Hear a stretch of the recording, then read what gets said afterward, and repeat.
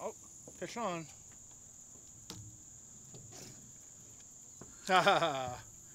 what we were looking for. We have um, resorted to bluegill fishing because we've been, you know, um, trolling some of my trolling baits in very fast water and not catching anything. So now, got bluegill in the boat. And uh, what are you using, Clint? Rainbow trout gulp. He's using one inch rainbow trout gulp minnows. Now I'm using night crawlers on a slip bobber rig. Sometimes I wish my camera was a 360 degree camera so you guys could actually see Clint tossing this thing out there. Or at least tossing his bait. But we're just in a kind of a backwater area. The main river is actually it's flowing hard. It's got a lot of current. It is 65 degree water. And this backwater area from it is 79 degree water. I've heard of big bluegill being here before. I'm hoping for bigger bluegill. At least. Because I want to try to striper fish with bluegills. Do something a little bit different than what I've done in the past. I also might use them for flatheads too. So it just depends. I do need to, um, well, to add to the fun of today, my battery died right as I was trying to explain our fun day. I don't know where it stopped. I'm going to say that we were trolling with trolling baits in very fast water. Trying for drum, stripers, whatever. Oh, hey, something ate my worm. And we weren't catching anything, so we decided to come back here, try for some bluegill, which may be fished or used in the future for flatheads or even striped bass. I do need to update my gear for striped bass if I want to troll live bait for them. But we're seeing some activity here. He missed one off camera. Maybe we can get a couple more bluegill in the boat. I'm trying to catch some fish, guys, so I don't podcast you to death. But I, I will be doing more podcasts. Uh, on this on this rig, you know, it's just a circle hook I think that's a size 4. I think it's kind of big. I might try downsizing, but for now I'm just, I'm going to try to use it until I get like, you know, you know, miss a couple of more fish. I actually have a swivel on here that's acting as a bobber stop. And then I have an actual bobber stop that I can move up and down the line to change my depth. I may add a small sinker on here too, just to drop it down and maybe uh, allow me to see when the bobber actually do something when a fish grabs it since this is the second time I've had my night crawler removed from my hook. So stay tuned. Hopefully we'll catch a couple more bluegill before it gets too dark to film.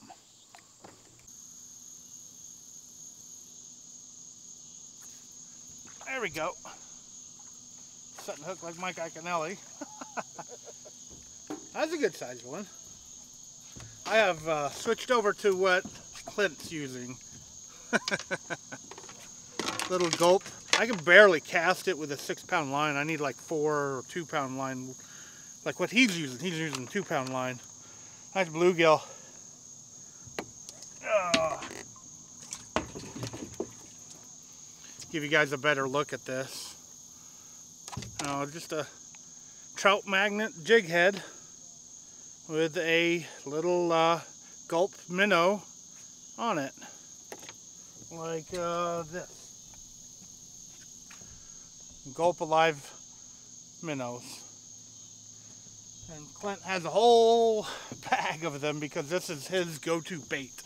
Now I've been waiting on somebody to make me a gulp minnow holder for my boat to go in the track system.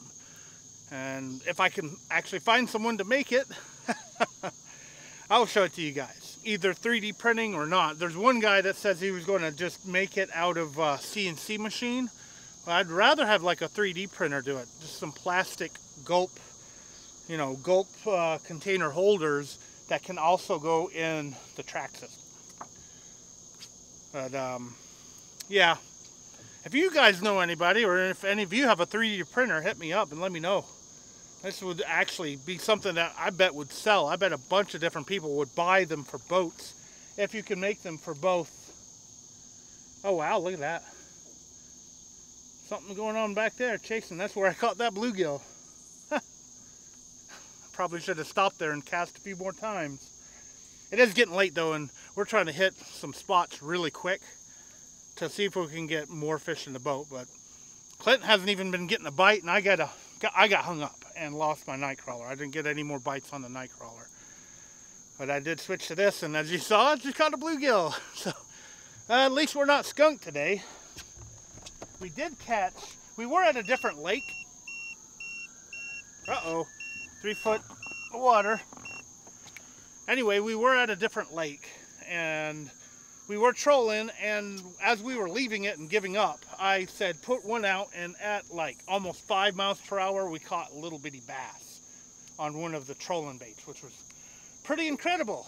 Didn't have the camera running obviously because we were leaving and I didn't think we'd catch anything with a bait going five miles per hour. Really interesting stuff. That leads to another question for you guys. I know I'm asking a lot from you. Have you caught fish going that fast, four and a half to five miles per hour on trolling baits or whatever? I'm curious to know. That seems to be really, really fast. You missed something? And Clint just missed something. So just let me know in the comments below. Let's see if we can get a couple more fish in the boat before it gets too dark. And uh, yeah, this is going to be a really, really, really short video. But I am trying to put out content and this has been a really huge failure of a day. I'm going to publish it anyway. Let you guys know I tried. We did catch bluegill that we can use in the future.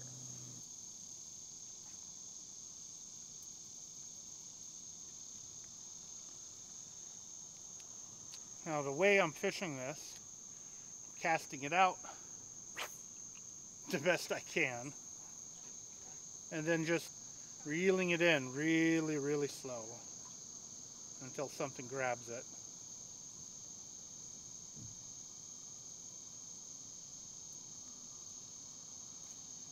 And it's probably best to let out as much line as possible. Since it's a six pound line and I should be doing this with less. And fly fishing. Actually, that's not fly fishing, but you, you really got to give it some oomph to get it out there pretty far. What was that? I think that was a gizzard shad.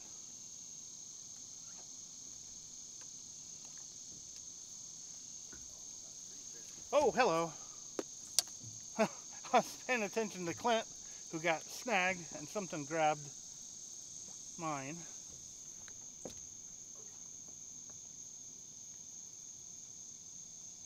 Hoping lightning would strike twice.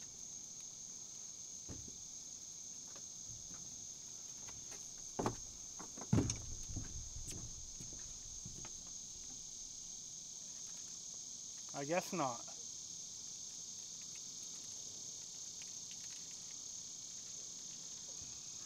Did pull the minnow down a little bit.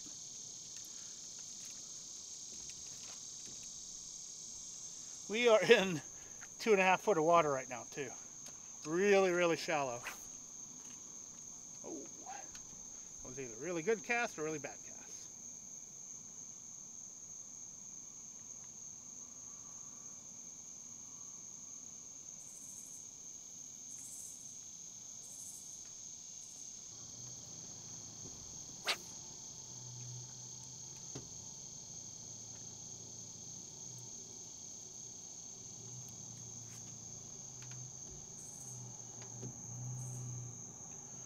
Look like the locals on the dock are heading back.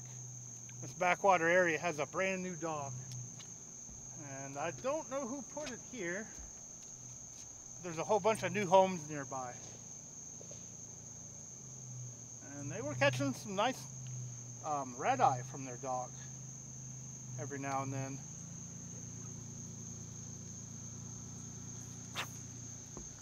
And it's uh, as the sun goes down here, things are not wanting to cooperate. I think that uh, I want to cast at least one more time. oh, can't even get to that jump. We're down to like a foot of water right now. I am hearing stuff like hit, but it is getting kind of dark. Almost too dark to film. I know my camera picks up the dark pretty well. But I think uh, we're probably going to try this a little bit longer into the dark. And then uh, we'll head back to the ramp. Uh, like I said, it's not been the greatest day. We've been on two different lakes and a river. And I actually passed up a ramp in a river because the ramp was closed.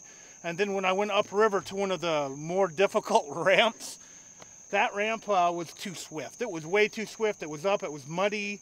I decided not to try to fish it. I want that particular river to be, you know, a little bit slower and clear for smallmouth and moon eye. Every time I've went there when the water's been really fast and really muddy, I don't catch anything. So I just, I passed that ramp up. I decided not to try the more difficult ramp.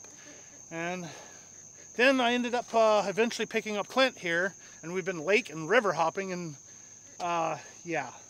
It's one of those days, you know, it, you don't always catch fish. My clients that have been in my boat have been incredibly lucky lately because we've been catching a lot of fish. But we're going to a certain spot. That certain spot almost always has fish.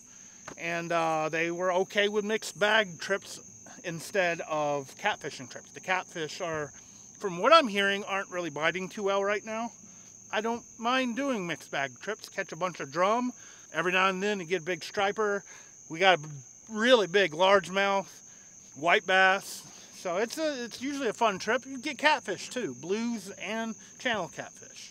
And in my own humble opinion, it's definitely more fun to catch fish after fish, even if it's drum, instead of watching a balloon swim around for like two hours before you actually catch anything. And I've seen that happen a couple of times with the boats that are around me moving away from me because I'm catching fish. Now, as always, I want to thank you for taking your time out of your day to actually watch this video. I really, really appreciate it. And I am very thankful for the afternoons and the mornings being cooler now. We're hitting 60 to 70 degrees in the morning.